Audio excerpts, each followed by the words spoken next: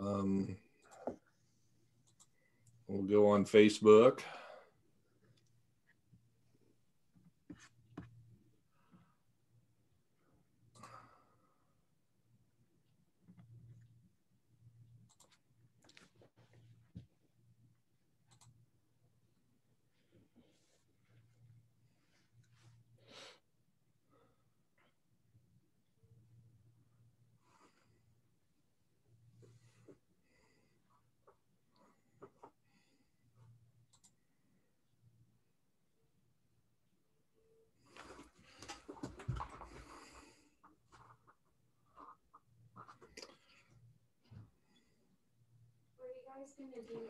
Okay, well, thanks everybody for joining us this evening.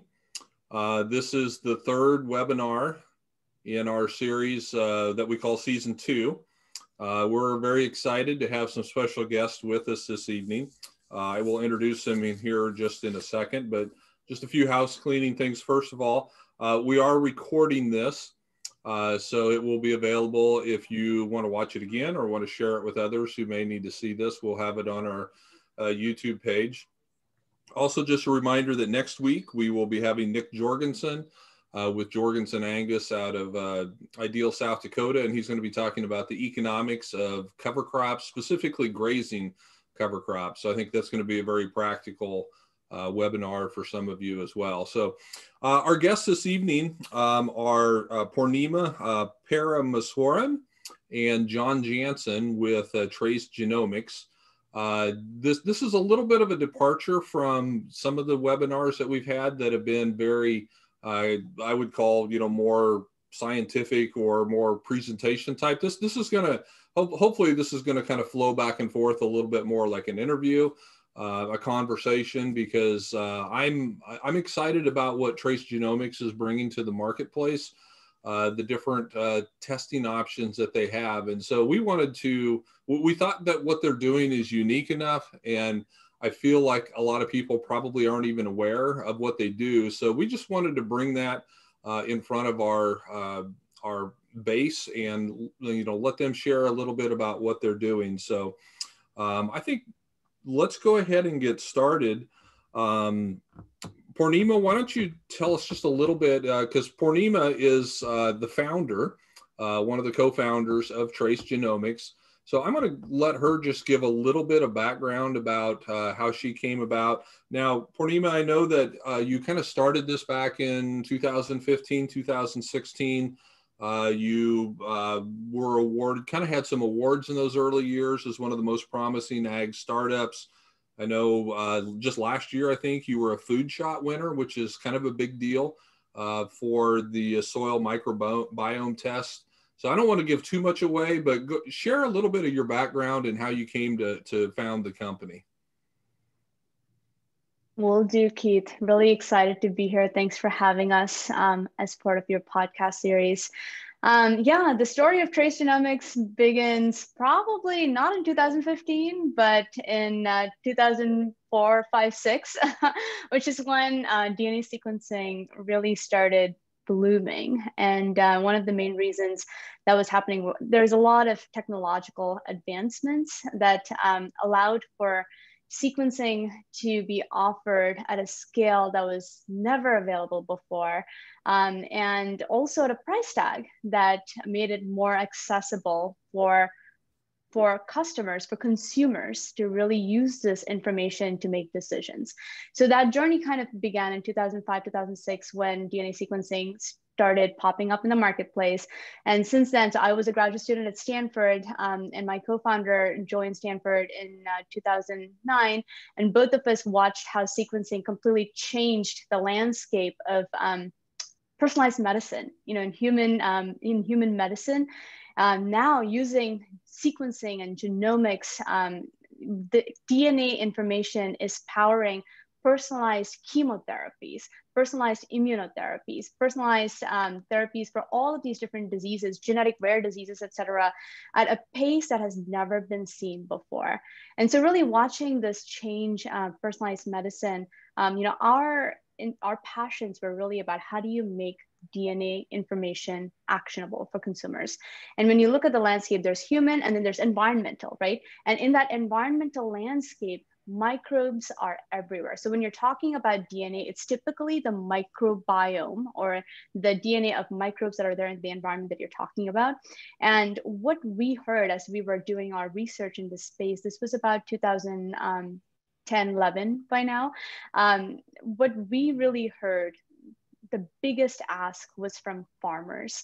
And um, the their biggest concerns this was mostly in california because that's really where we started the company back in 2015 the biggest ask was from farmers who were seeing regulations, increasing regulations around the usage of crop protection chemicals, particularly methyl bromide going away.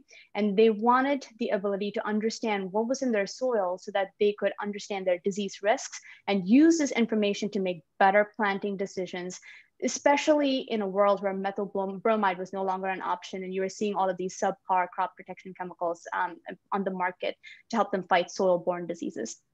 So we started the company in 2015, really with this intent to provide um, farmers, starting with strawberries and uh, lettuce growers, help them understand what is in their soil from a disease perspective so that they can make the right decisions um, before they plant. And the disease um, decisions are really around what DNA is in the soil, what are the the pathogens or the disease causing microbes in the soil.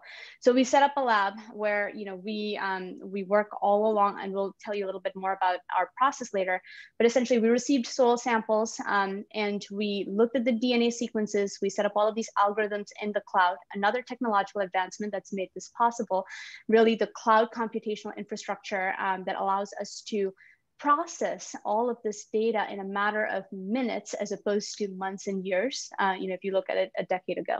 So that computational capability, uh, along with the ability to process samples, allowed us to help deliver disease risk profiles in a crop specific manner to farmers in California. And then building on that, really, we've expanded to include um, more than a, several dozen different crops. We now offer full pathogen panels for soil for several dozen crops.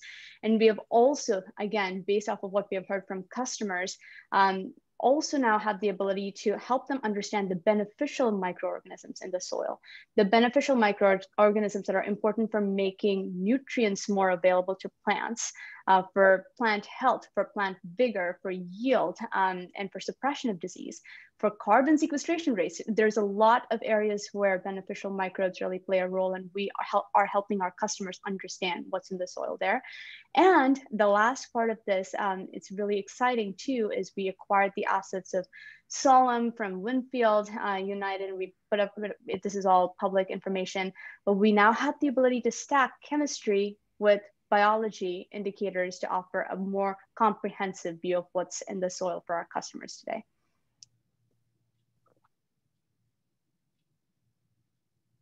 Sorry, I had myself muted there. So that's really fascinating. So you're using this this really super high level medical grade DNA sequencing and, and taking a peek in the soil. And I think I think most of our uh, viewers would understand how incredibly complex that soil biome probably is. And you know, it's it's staggering to me to think about, you know, trying to get a DNA sequence of what's in there. So uh, I'm I'm excited to see. I know I know you've got some slides and stuff that you want to show that they'll probably help us get a little bit better feel, um, you know, for for what you just said and what you're doing because that's pretty high level stuff. So uh, that that's great. Um, and I really like how you started with trying to detect the diseases, but you've moved now to trying to uh, identify the good guys, if you will, that are in there and seeing how that they're working and how they're suppressing those diseases and making those nutrients more available. To me that's the really exciting part because then we can get away from some of these chemicals and, and get you know try to create a soil environment that uh, the pathogens aren't the dominant species out there. And even though they're probably out there yet uh, they don't uh, express themselves in in the crop. So um, uh, John, uh, why don't you give us just a little bit about your background because uh, you did not start uh, with Trace, but uh, you've come on. Tell just a little bit about your role and a little bit about your background, please. Yeah, Keith, uh, great to be with you. I'm a native of Southeast Iowa, and, and have spent over 25 years helping launch and bring out new technologies in agriculture. I joined Poornima and the Trace team just this past summer, and I lead our commercial operations right here out of St. Louis and uh, have our field agronomy team that works with um, retail agronomy as well as farming operations to help interpret these results. We're, uh, we're a diagnostics company, uh, but we really deliver insights. So we're a pretty high touch uh, soils lab, so to speak. Uh, you don't just get the test result. Uh, you usually get some really good interface from our science team there that Poornima highlighted, as well as our agronomists that help you interpret those results and, and know how to take action.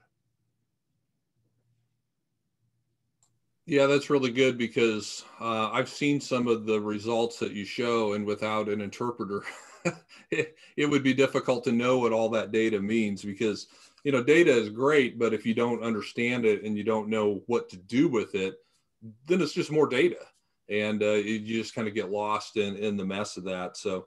Um, I'm, I'm excited to see some of the slides. What, you want to go ahead and bring up uh, a couple of your, your first slides there just to illustrate some of these points, John?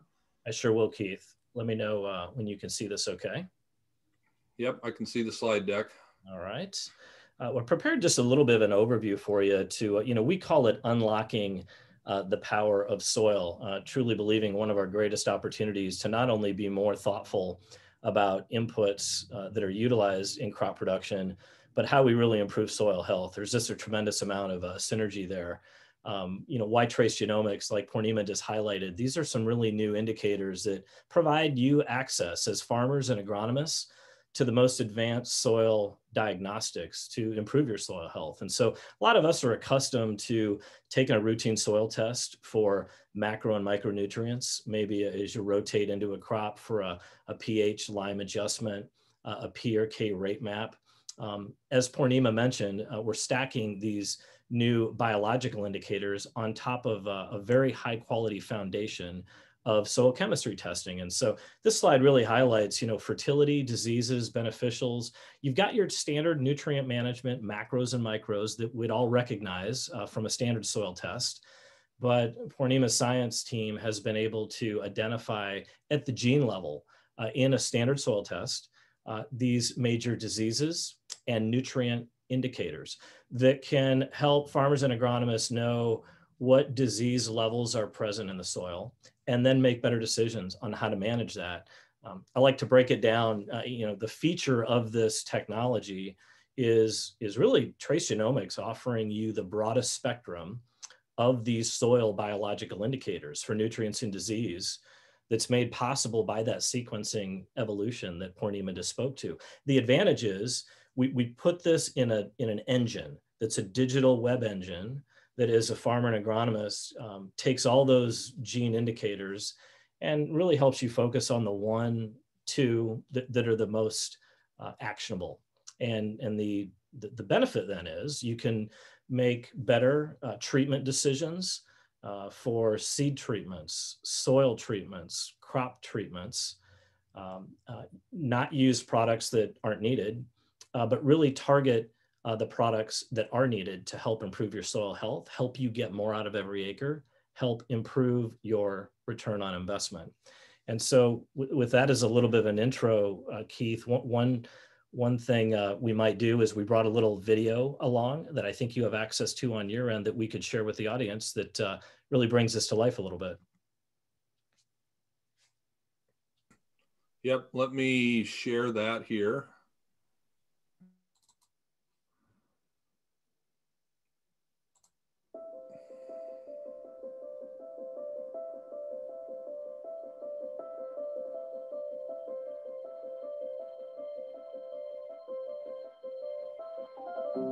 Know what's limiting yield potential? And are you showcasing your hybrids and varieties on the best acres? It's kind of like the ocean. We know that there's a lot of stuff out there, we just don't know what.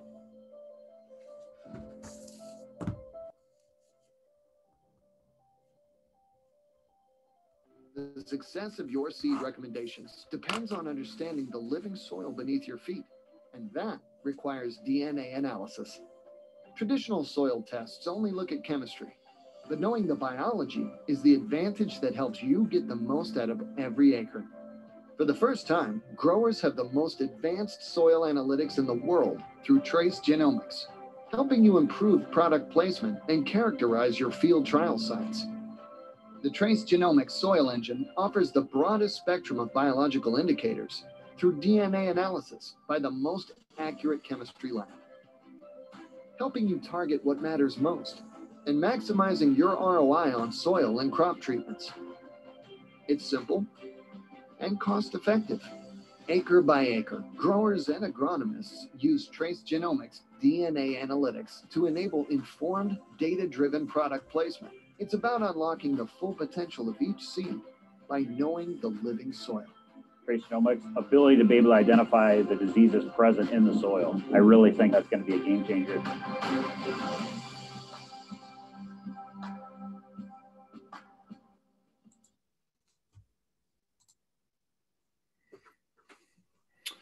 Okay, yeah, that was very well done. I really like the quote uh, where the one guy said it's kind of like the ocean. You know, there's a lot of stuff out there, but you don't really know what's in it until you start looking. Um, the other the other thing, the other comment that I'll make is, boy, some of those California soils are beat up, and they need all the help that they can get, don't they? They just look like they're farming the moon there in places. But uh, um, yeah, what uh, do you have any follow-ups with with the video there john or Poornima about uh, some of the points that were made there that that maybe you want to illustrate yeah absolutely in fact i'll go back and uh, share my screen so Poornima can dive a bit more into the, the technology and explain a bit more about how this uh, really works in our process Poornima yeah, um, that ocean comment, I'm, I'm there. It's not a surprise to me that it uh, appealed to you, Keith. Um, I think there's also several um, statements that have been made around how we know so much more about the deepest, darkest depths of our oceans than we know about our soils underfoot, right? The same thing goes for we know so much more about space than we actually know about what's in our soil. And so, um, I, I, mean, I really see it as a um, as a as a the last frontier in many ways uh, for us to create value and insights from. And you know, one of the main reasons why we founded Trace um, in 2015, when very few people were actually talking about soil, was because we saw that there were there was immediate opportunity, like today, not five years out, not 10 years out, today in terms of being able to create and interpret um, the data that is coming out of soil. So I want to make sure that you know that that piece of communication um, is not lost. Yes, soil is an ocean. Yes, we know very little about what's in the soil uh, today. Yet, of the little that we know, um, there are many pieces that are directly actionable that are already delivering ROI to our customers today. Um, and a lot of it is around disease management, a lot of it is around fertility management. And these are decisions that are already being made out on the farm today. And we're building upon that knowledge over time, which is what makes what we're doing so exciting as well in terms of opportunity gains in the future. So when we think about our process, um, you know, typically most um, soil labs you know they their experience starts um, the customer's interaction really starts when they send a soil sample into the lab. Ours actually starts way before.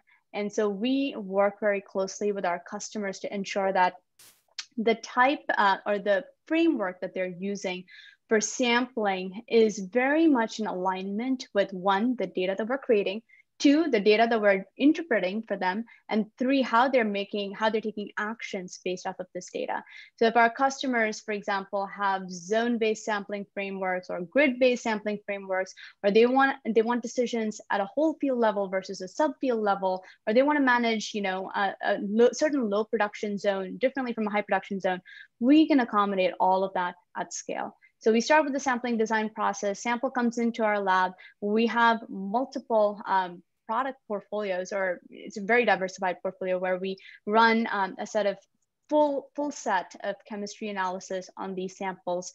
We do full set microbiome based analysis. And this is something that uh, John will talk about more too later, which is uh, we are constantly innovating and developing additional capabilities at Trace.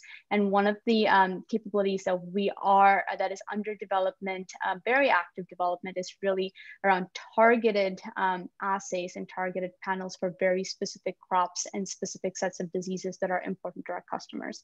So all of these three different panels can are being run on every sample that comes in. Data goes into the cloud. We, uh, we have algorithms um, that really allow us to understand who is there in the soil, what quantities are they, and what functions are they doing in the soil. And that data then goes out into our web portal and it's a very interactive map-based view. We have a snapshot of this later too, but essentially something that allows our customers to understand by field or by disease risk indicator or by fertility indicator, you know, what are the jobs to be done? Like what are the fields that they need to be paying attention to and what actions they need to take based off of our data? Next slide, please, John. This is just uh, an overview of the data that comes out. Uh, we, John mentioned this earlier, you know, at Ames, Iowa, we have best in class QC processes in place for chemistry and for biology. From every single soil sample that comes in, we are creating millions of data points and millions of DNA sequences. And so we have very robust QC process in place. And this is just a snapshot of what a dashboard looks like in our lab. We are, this axis is actually millions. And uh, this is just, just like one um, set of 96 samples. And this shows you what the distribution of reads looks like across those 96 samples because we do everything at scale. We do it in batches of 96 or 384. Um, we create millions of data points and yet we have the ability within a matter of minutes to distill all of that information down into a manageable set of soil indicators. And we're even binning that and surfacing it to our customer by crop. Uh, we have the ability to identify emerging diseases. Um, as in some cases, we have actually uh, gone out and sequenced a pathogen for which a genome wasn't available before added it to our database and rolled out the first in, first in class commercial diagnostic for an emerging disease. We've done this with lettuce and fusarium wilt. We have the capability to do this for other diseases moving forward. In fact, we're already doing it for um, other diseases that are impacting cotton, um, as well as um, corn and soy that our customers are telling us that they have a need for. Um, because we have been in business for over five years and we have worked across 70 different crops and we have worked all over the US. You know, we're not just in California. Uh, we actually have soil samples from all major farming hubs in the US, very deep knowledge base around multiple crops, all crops that are of highest economic impact in the US, as well as several geographies here. Um, we touched on this already. Our report is very comprehensive a whole set of indicators around what are the beneficials in your soil that allow your crop to be healthy, to actually get nutrients out of the soil and in a format that's available to the plant. That, that particular functionality is being conferred by microorganisms in the soil, and we actually measure that function, um, that rate in the soil. We also have soil chemistry reports that are best in class, uh, almost 20 different indicators, including pH, organic matter, all of the different types of phosphorus. We have three different ways in which we measure phosphorus alone, um, as well as all the macros and micros. And then on top of that, um, the soil pathogen panels by crop is something that we offer to all our customers. John, you wanna talk about the product and the commercial? Our Trace Genomics Soils web engine then digitizes all of those attributes that Poornima just highlighted puts it in an easy to use web interface. And so what you're seeing here is that web interface. Uh, you'll, you'll recognize uh, some farm fields here. On the left, you've got menus and you've got the ability to toggle through your fields uh, across your farm operation or even multiple operations linked together. Uh, look at those disease pathogens, uh, which are indicated uh, here on this display. You've also got your soil nutrient cycle indicators, as well as those standard chemistry results. And, and the web is designed so that you can click on a field. You see it's very visual with a, with a stoplight type of uh, signal here, where uh, green means for that particular attribute, like here we're looking at sudden death syndrome in soybean. Uh, these green fields were not detecting uh, high levels when compared to other fields in similar environments based on our vast database of, of soil test results versus the yellow and the red. Uh, here we're identifying sample points within these fields that would be recommended for further inspection. Uh, we're really not a black box that recommends a specific product treatment. Uh, you can see at the bottom, we're actually uh, reporting the soil concentration levels of these different uh, pathogens and nutrient cycle indicators so that you as a farmer and agronomist can interpret those benchmarks and make treatment decisions uh, based on those. Um, I promise uh, this next slide, uh, we, uh, we won't, we won't uh, have any quizzes on afterwards, but we did want to give you the detail on the scientific and common names of all of those indicators. This just happens to be for uh, corn, wheat, soybean, and potato. On that digital web engine I just showed you, we actually have 71 different crops. Um, many of the uh, scientific names um, are, are, common across the US and we adapt those uh, common names uh, to uh, the disease and treatments that you'll recognize. And then we also have those biological uh, fertility indicators uh, rendered in the software. Our software is, is built so that these results can be ingested into other farm management software programs that you and your agronomists use. Um, we have uh, little bits of software code called APIs that can transmit those results digitally and make it easy uh, to exchange those results back and forth because we know most of us don't need uh, yet one more piece of software and user ID and password. And so we do get into the software uh, bit uh, just for the sake of reporting our results and doing some very specific analytics, like Poornima mentioned, depending on our customer and what their goal is. But um, you know, we very much have an open architecture here that works with the, uh, the, the software systems that you're accustomed to. Uh, Poornima, our, our pipeline is actually to get even more focused on these indicators. You want to you want to comment on uh, what's coming next? Yeah, and this is really where there's a lot of innovation also happening at Trace. We have the ability to surface all of these indicators, um, except for SCN, with our with our microbiome based panel offering. Um, we are also in the process of developing very specific targeted panels for specific crops and specific value propositions that are of interest to our customers. And so this is a, yet another way in which one, we're diversifying our um, offerings to our customers. Um, and, the, and it actually allows for our customers to really give some flexibility to pick and choose in terms of what types of value propositions really matter the most for their operations. And Keith, that really is a good synopsis of, uh, of, of, our technology, how it works, and what you get uh, with Trace Genomics.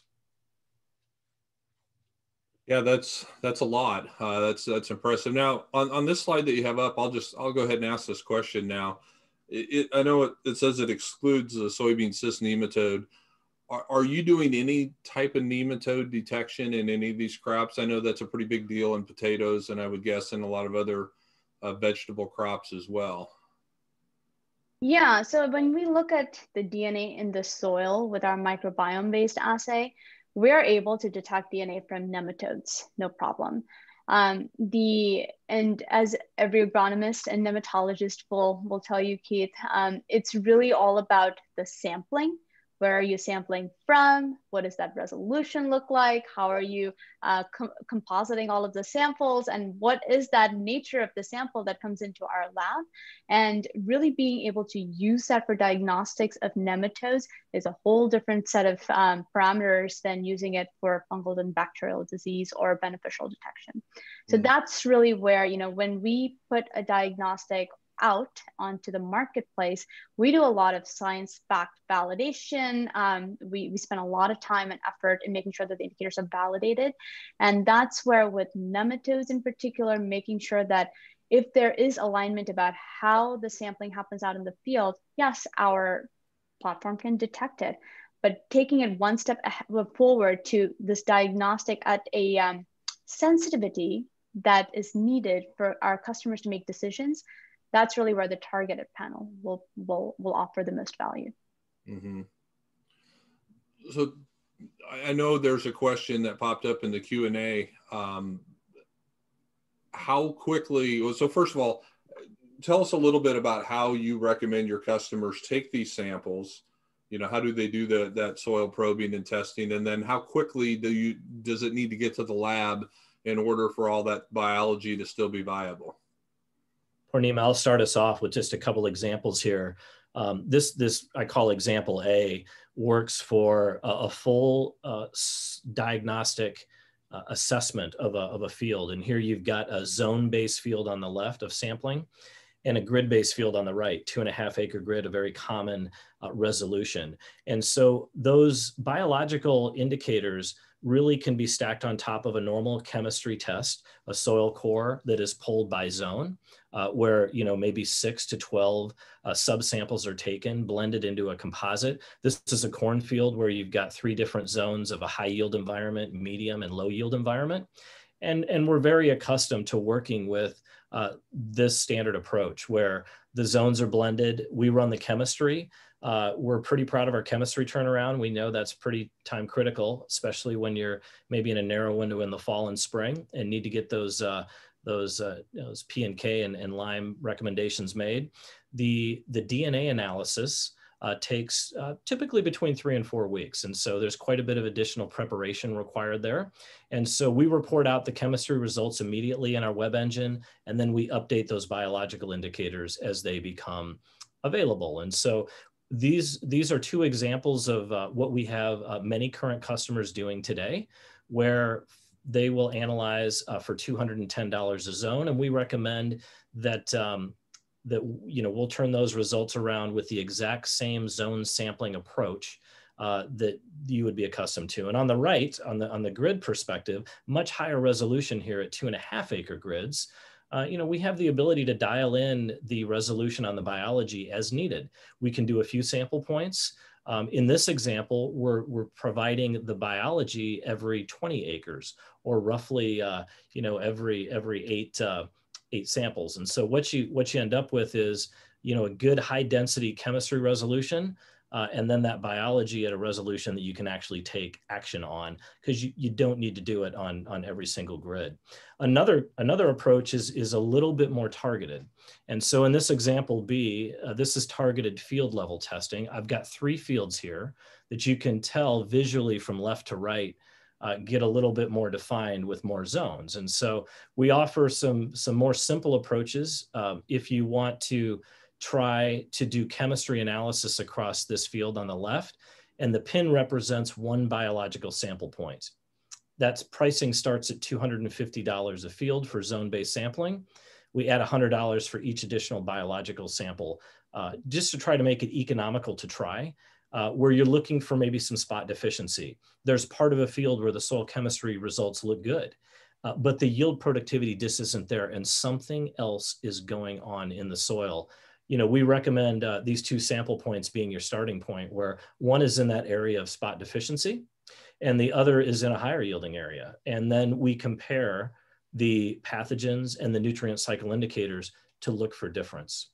And, and on the right, we just display how, you know, you could add a, a third sample point there. Really simple pricing, $100 each additional sample point. If you're doing grids, we have a, a $250 adder to this pricing so that it's really easy and adaptable to the way that you're, you're testing soil today. That, that's really the answer to your question, Keith, is just stacking these indicators, you know, right on top of the, of the normal uh, soil characterization work that, that folks are doing. so for the most part, you would just pull soil samples like you normally would. And uh, is there, you know, rush? You have to get it rushed to the lab, you know, quicker because it's a biological test, or is that not as critical? It's it's really not as critical. Uh, you know, normal normal uh, shipping times are just fine. Um, you know, we're we we have a lab in uh, California uh, in Burlingame.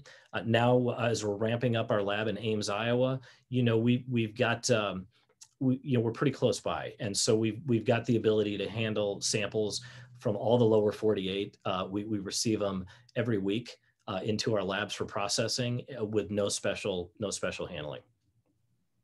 Okay, well that yeah that's that's good because that can sometimes be an issue if it has to be handled differently. Um, you mentioned the lab in Ames, John, and I know when you were here visiting us um, at Green Cover Seed, you were telling me a little bit more about that. You want to just you know mention a little bit about how that's expanding your capabilities, and especially to the row crop guys, you know, here in the Midwest. Yeah, absolutely. Well, we, we call it the Ames Advantage. It's uh, it's a combination of a, of a team of people that has been together for nearly a decade. A very experienced team of soil scientists, uh, statisticians, lab technicians that have worked together to invest in a tremendous amount of lab automation. So a lot of soils labs you'll take a tour of, a lot of manual methods implied and, a lot of um, people doing things in the lab. Uh, we have a terrific staff here with just, uh, I just did the stats the other day, just under 200 years of cumulative soil science experience here in soil diagnostics but there's a tremendous amount of lab automation. And so in these pictures, if you look closely across the team here, you're going to see a lot of computers and electronic automation that really takes a lot of the potential air points uh, out of these uh, sample processes. It results in quicker turnaround and a more accurate results. We benchmark this lab against uh, uh, many, many other labs across North America to make sure the quality of known samples going into Ames is is best in class. And so this team's always up for a challenge. Uh, you'll end up talking uh, to these uh, people as you're working on your your sampling design and the problems you're trying to solve. Um, when Poornima mentioned, often our journey begins long before the sample was collected and placed in the bag. Uh, th that couldn't be more than true. This is a real high touch experience. It's it's to tackle the toughest problems that you can't put your finger on and it's also to just help you develop a baseline. You know, as you think about a lot of the emerging areas in agriculture, uh, like uh, some of these environmental services around carbon, or you know, if you're a landowner and, and you want to make sure that uh, you know you're maintaining good nutrient levels in the soil and maximizing productivity you know we have we have a lot of customers that just want to develop a good baseline of these biological indicators right on top of the, of the chemistry. And so this team uh, can adapt to that. And if there's certain things that you want to analyze for um, ask us. And and we'll um, you know we're, pretty accustomed to developing new methods uh, to identify what uh, what is on your mind to solve for. Great. Now i know you're also telling me that most of the time, a lot of the samples that come into your lab, you, you kind of work through agronomists because they have a pretty good feel for how to sample and and uh, what diseases to be looking for and things like that. Do you have to go through an agronomist or a co-op, or can people send send things in directly to you, or how does that work?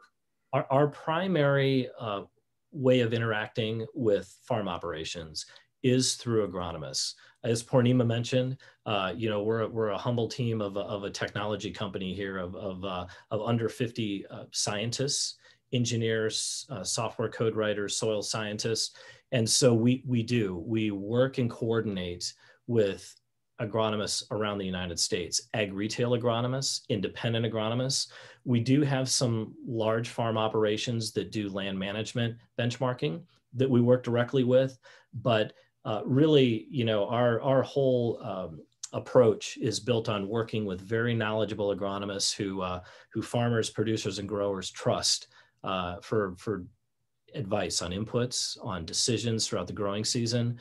Uh, be, because you know where you take especially some of these targeted samples where you're trying to identify uh, a yield deficiency. That's so important. It, it, requires knowledge of the field, the environment, mm. uh, the timing. And so that's a real important part of our equation. So as folks are interested, you know, if you were to contact us, you know, on our website at tracegenomics.com or email us at support at tracegenomics.com, or you can call uh, our phone number there, 650 332 6661. Um, you'll you'll you may get a, a, voicemail box there. We'll call you right back. Uh, but uh, you know our team will reach out and help coordinate with you and uh, and make sure we're setting the, the design up uh, to solve solve the problem that you want that you want solved. If it's uh, tracking improved soil health over time, Keith, with cover crops and how that's helping build um, soil organic matter and soil nutrients uh, available for the crop you're going to rotate into.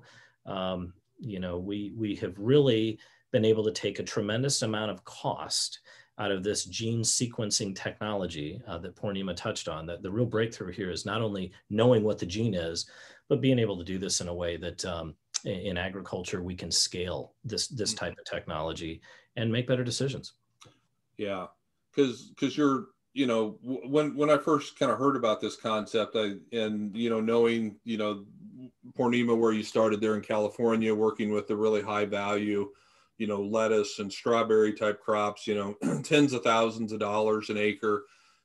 Definitely can see where it would easily pay off there, you know, but, you know, for, you know, the humble corn, soybean farmer, you know, out here in our area, uh, you know, you have to bring that price point down. And so, you know, when I was looking at, you know, 10 to $11 an acre, you know, if, if you can detect a soybean disease, and and gain a bushel of soybeans, you know, you've paid for it, I guess. Um, so yeah, that's that's that's pretty impressive. How much of your how much of your business have you seen shift to more of the broad acre row crops versus those specialty crops, you know, over the last few years? Well, as Poornima mentioned, our foundation was in specialty crops and in leafy greens and almonds and grapes for winemaking um, and, and many of the other examples that she highlighted. Uh, with this new investment in Ames, Iowa, we have just begun uh, the middle of this year to expand into Midwest row crops. And so we have agronomists in the central United States. We now have many uh, retail agronomists and independent agronomists that are uh, able to deliver this technology uh, for folks that are interested. And so that's a, that's a newer business line for us in row crops, but we're really excited by what we're finding. Um, we got some terrific cases uh, in North Dakota where um, in Cass County, uh, we didn't even know there was soybean uh, sudden death syndrome, SDS. And, uh, you know, traditionally you'd, you'd, pull a soil sample, you might send it off to NDSU uh, for the lab there, and uh, you'd you'd run an assay specifically for that.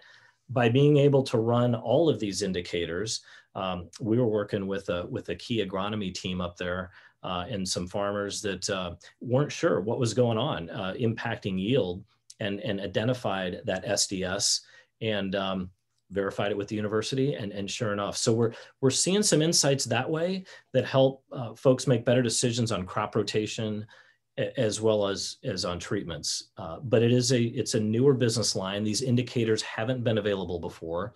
So uh, you know we're inviting folks uh, to to try the technology, get a good baseline. You can stack it right on top of what you're doing uh, already, and um, and begin to learn how to make better decisions uh, as uh, as you build a multi-year data set.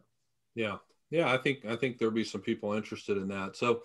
Um, yeah, that that was great information. We we do have we've got uh, 20 minutes or so left for questions. I've got a number of ones written down here that I want to ask, but uh, I would encourage all you folks that are watching out there, go ahead and submit your questions via the chat box, or you can type them into the Q and A box there too, and and we'll get to those um, as you submit them. um, one of the questions that I have is because I know that, that some of our listeners will, will be familiar with uh, a biological test like the like the PLFA test. Can can you just talk a little bit about how this differs from that? Um, you know, that would give people a little bit of a baseline because I think there's some familiarity with that test because it's been around for a while.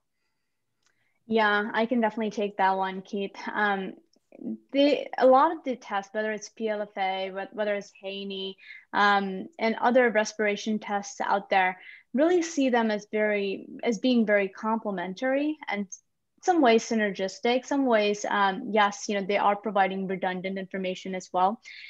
The way in which our test differs from PLFA is um, with PLFA, you get a profile of, um, a very specifically certain compounds that are unique uh, unique to different organisms. And based on the uniqueness of that profile you identify who's there in the soil but it's more of a population based approach.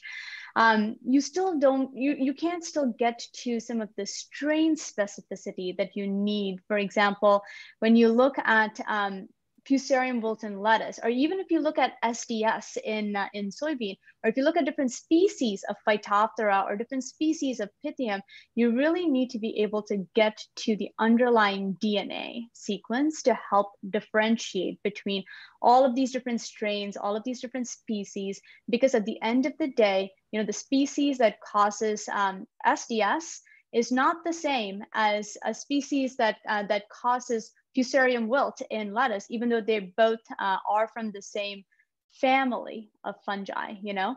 And so that's where the DNA sequencing piece comes in very handy and it's a differentiator from PLFA.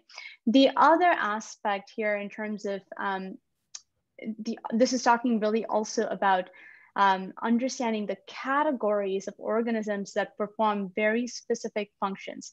With DNA sequencing, you can ask the question, for example, in the phosphorus pathways, if you were to look at phosphorus solubilizers, phosphorus mineralizers, and these are microbes, for example, that make phosphorus available to plants from different forms of phosphorus in the soil that are tied up, unless the microbes are present in adequate quantities to make them available to the plants.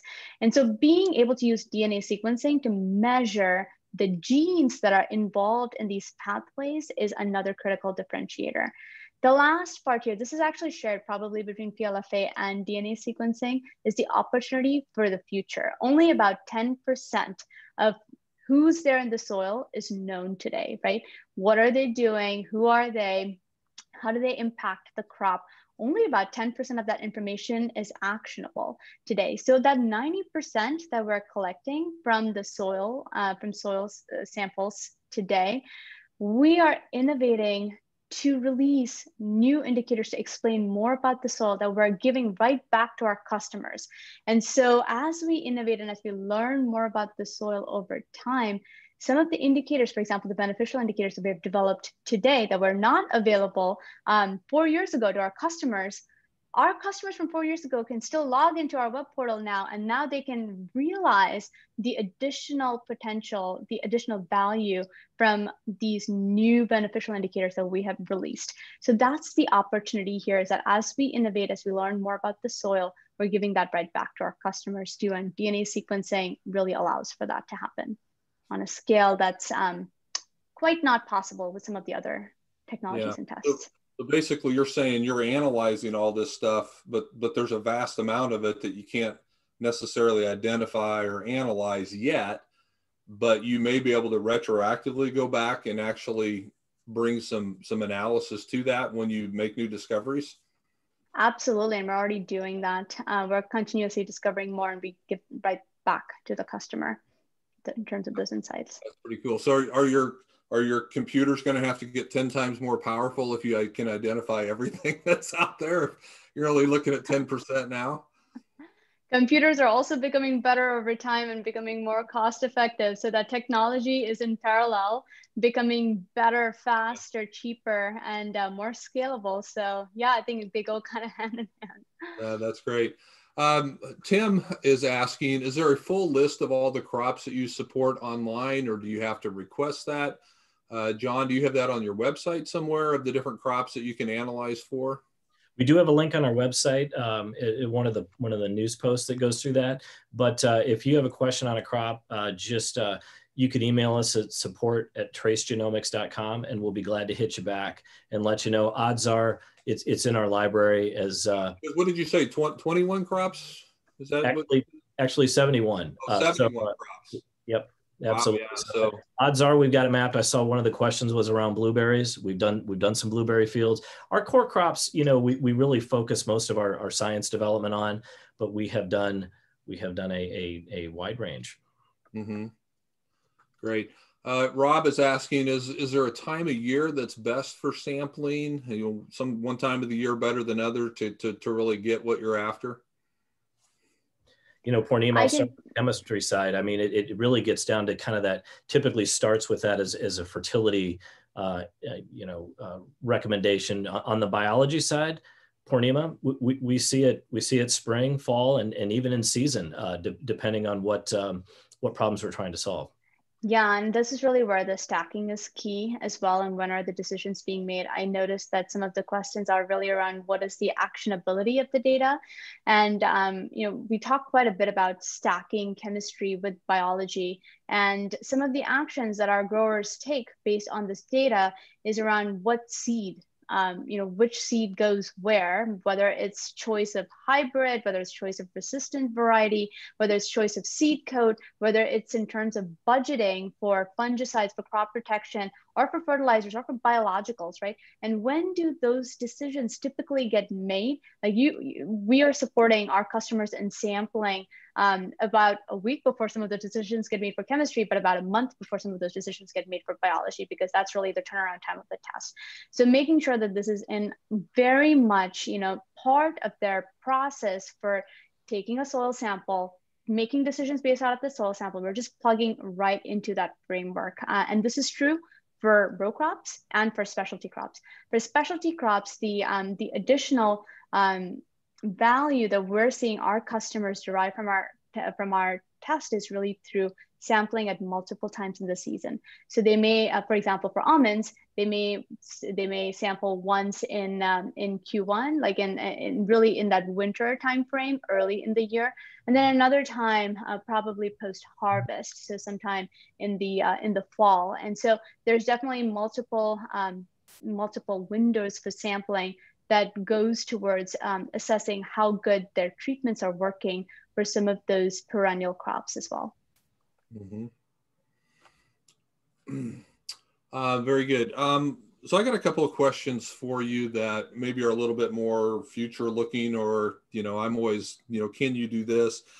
so last week, our our webinar speaker was Dr. James White uh, from Rutgers University, and he was talking about the whole concept of rhizophagy and the importance of microbes actually on the seed and and that actually transferring you know, to the soil for the next crop. Do you envision uh, the ability, if I sent you a sample of seed, would you be able to look at the microbes that are on that? And, and then if you could, you know, could you compare one lot of seed versus another and say this this has a significantly better microbial population than this one? I, I don't know. Just just curious. You ever thought about yeah. that? Yeah, the uh, underlying technology actually very much supports um, the, the seed use case. Um, we, we actually did a little bit of work on it in the early days of the company to really look at quality control too of seed. When you look, when you think about the pathogens that are often transmitted on seeds and from seed lots, really how do you quantitate and track some of that the underlying technology of DNA sequencing allows for that. And also the beneficials kind of, it's the other side of the coin, Keith. So absolutely, um, the potential is absolutely there for that. that would be really interesting. Another question that I have, and I've, I've asked this question to a lot of people and have never had anybody say, yeah, we can do that.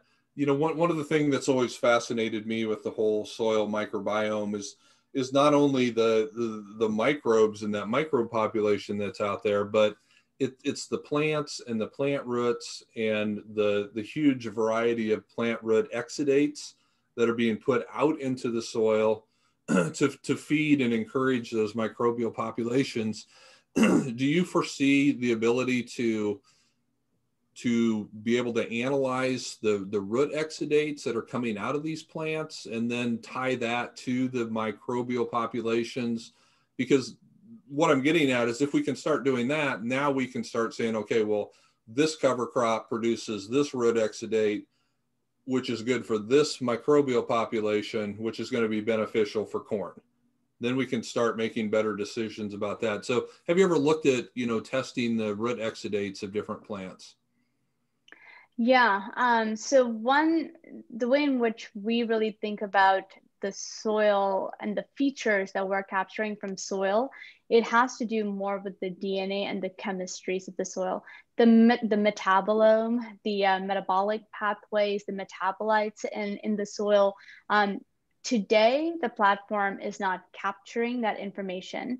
Um, we have partnered and can partner with other labs that are creating that layer of information from the soil and use that to ask exactly the question that you're asking, which is how does the metabolome map to the microbiome and how does that impact decision making at the farm gate? Um, one thing that I will say is what our partners are using our platform for already is to look at the rhizosphere and to ask the question, you, know, you can do sampling on the from bulk soil to make field level decisions. Um, but when it really comes to understanding product efficacy, the how a product performs over time, you know, you might also have some questions around how is the uh, cover crop uh, seed really? What does that microbiome look like around the roots? Like what is it fostering, for example, or what is it repelling over time? So those types of questions we routinely support for our product companies or for, for our seed company uh, partners, where they specifically sample from the rhizosphere and they follow that over time in a replicated plot trial. And there's just so much rich information that they're getting from looking at the DNA profiles. Hmm. That'd be exciting if if more of that becomes commercially available. And I learned I learned a new phrase too, metabolome. I had never heard that phrase before, but I like that. That's uh, uh, yeah, and and again, it just goes to the incredible amount of diversity and richness, you know, that's in that soil. And you know, like you said, we know more about the ocean and outer space than than the soil there in itself. Um, John or Poornima do you have any final kind of closing comments? It doesn't look like we've got any more questions. I think uh, my, my audience is so smart that they knew most of this, I think, evidently, because they don't have a lot of questions. But uh, Keith, there's a lot of questions in the chat uh, oh, function, not in the Q&A, but oh, really in the chat piece. Um, I don't know if you want to pick a couple. Uh, there are a couple there are a whole bunch of them, and we certainly, you know, would would would be open yes, to folks reaching out after. So, uh, yes. Um,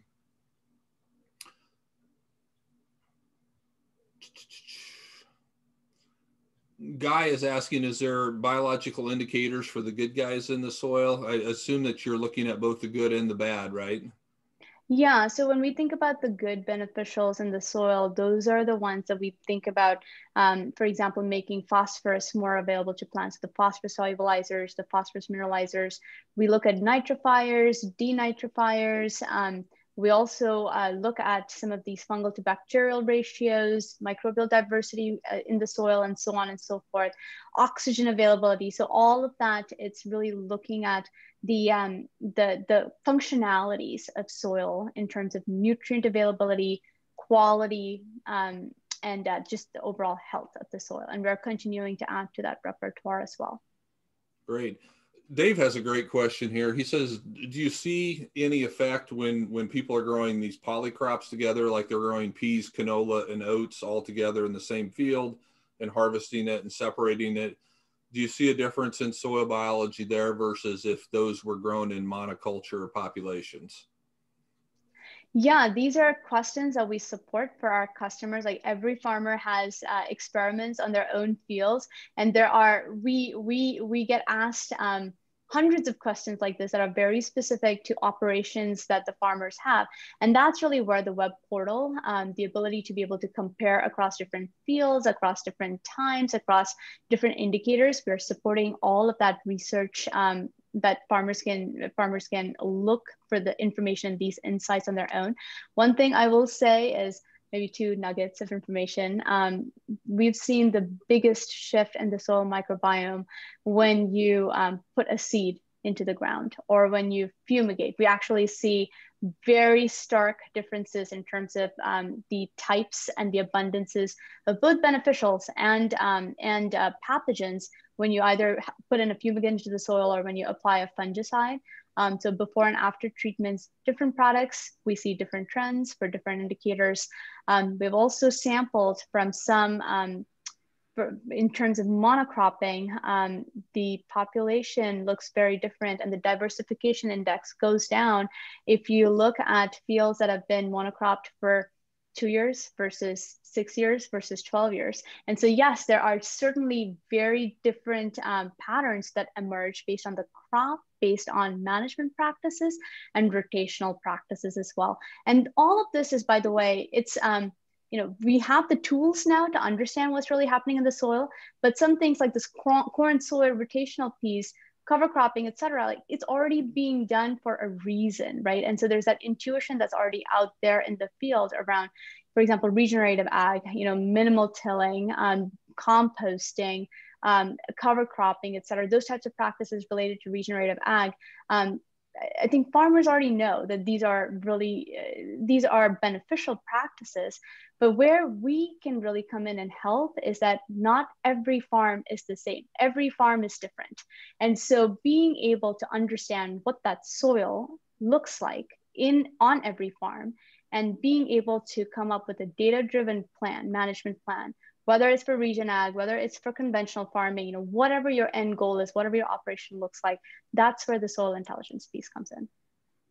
Yeah, so really you can answer just about any question that somebody wants to ask. There's no limit there almost. Hey, John, here's a question for you. Uh, Jack is asking if tours of your Ames lab are available if somebody's interested in that.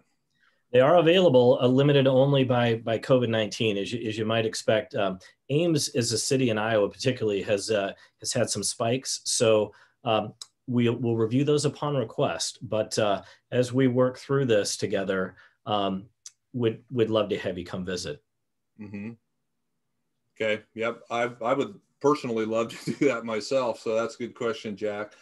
Um, here's an interesting question. Uh, Sue is asking, do you see your database uh, potentially being used to influence policy changes within states or the federal government? You know, I and I'm assuming, you know, just based on findings, you know, could could that eventually influence policy? Yeah, I can take that one. Um, when we talk about, we take, um, yeah, I just want to make sure that everyone understands we take our customers' privacy very, very seriously. And we have, you know, it, it it's really based off of, um, we have very strong data privacy uh, policy in place at Trace. Um, where we see us playing a role, uh, whether it comes to thought leadership, policy, et cetera, it is really about looking at land as an asset. And land as an asset, um, you know, it's really, it's the same path, right? Whether you're using land um, to grow profitably, part of being profitable also means growing resiliently and making sure that land as an asset is being nurtured. And that's where I think there is a lot of alignment already between what farmers want to do with their land and what policymakers really want to establish at scale, really some of those guidelines around what farmers are already doing today that is optimal for protection of land as an asset. Let's take that, bring in data, science, and technology and scale that out across all of the lands that are under farmland management. And so that's really the type of innovation that we're fostering or we're encouraging here at Trace. We are collaborators and partners for everyone in this ecosystem, whether it's a farmer, an agronomist, product company, policymaker, regular. At the end of the day, land is land, soil is soil, data is data. The science takes you where you need to go. So, uh, you know, the playing field is even, and it's the same foundation for all of these questions. Mm-hmm. That's great. Well, I appreciate uh, you guys' time. We are we are up against our 6:30 time limit here. Um, I know that uh, Monica from your team just posted in the chat that if you have questions, additional questions, uh, she has the email address there of support at tracegenomics.com. Um, very, very interesting, Poornima. Thank you very much, John. Uh, very grateful for your time as well. Uh, I think that we'll be hearing a lot more from your company in the future. Uh, and that's exciting to see some of these new things that you discover and, and we'll be able to, to bring out to the field for all of us. So Thank you everyone for joining us. Again, remember next week, uh, Nick Jorgensen with uh, Jorgensen Angus uh, Land and Cattle up in uh, South Dakota. We'll be talking about the economics of grazing cover crops uh, in bull development, but but just grazing cover crops in general. So join us next week at 5:30 for that. And again, Poornima, thank you. John, thank you very much. Everybody, have a good evening. Thanks very much, Keith. Good evening. Bye.